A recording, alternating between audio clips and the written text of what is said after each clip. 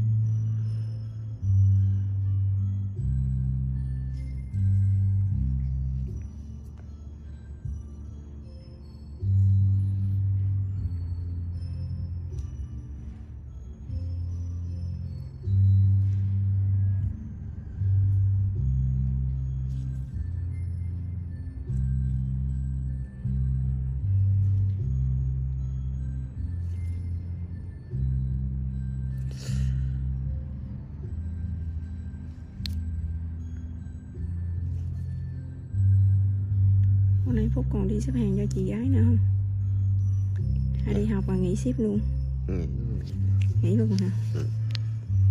bây giờ tiền học ai tài trợ? Ba mẹ. Ba mẹ tài trợ hả? Ủa ba mẹ em đến đây làm gì Phúc? Tay ở dưới quê ba, mẹ, ba em coi công trình Công trình đâu làm đó. Là dạng cai đúng không? Ừ.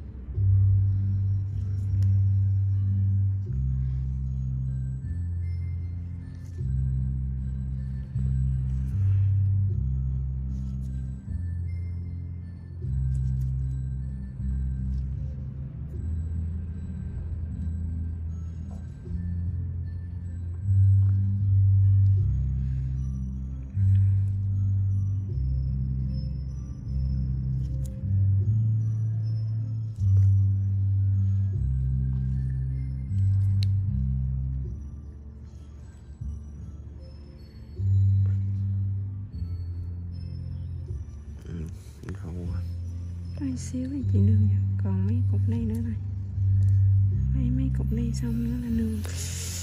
Ừ, Nó còn đau hơn mấy chỗ kia nữa. Mình cứ nghĩ là tới lúc da mình đẹp rồi. Mình tưởng tượng đau là nó sẽ đau. Tưởng tượng cái da đẹp đi. Rồi hết cục xong rồi đó. Khỏe đó.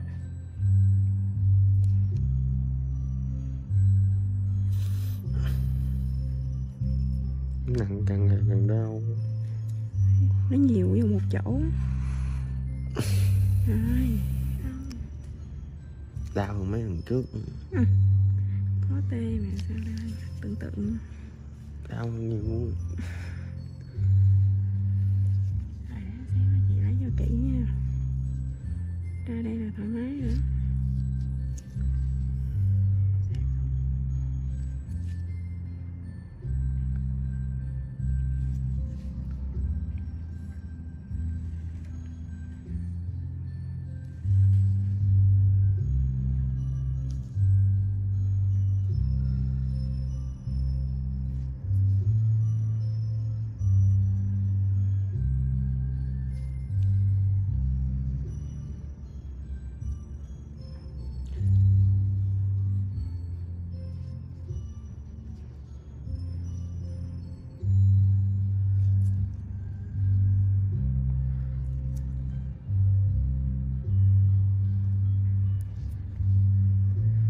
tê cũng lâu rồi đó Phúc. Dạ. Ủ tê cũng lâu rồi Bữa trước em lấy đâu có đau đâu mà ta. Mình thả lỏng Mình thả lỏng mình sẽ dễ chịu